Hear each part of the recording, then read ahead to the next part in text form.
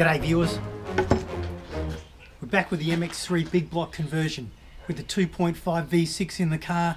It's got coolant, it's got oil. I put the battery back in there. The ignition was on, I could hear the fuel pump priming up. All we can do now is kick it in the guts. You're watching this in real time. First start.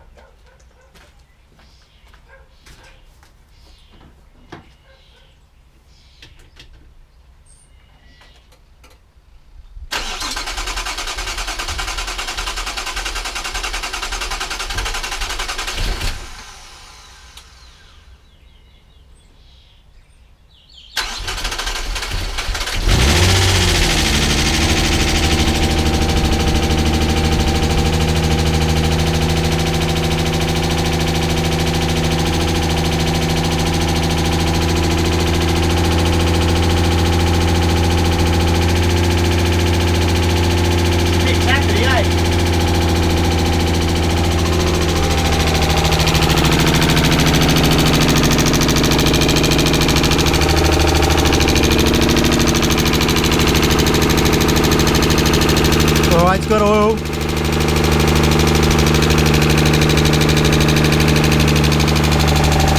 Good old burning off everywhere.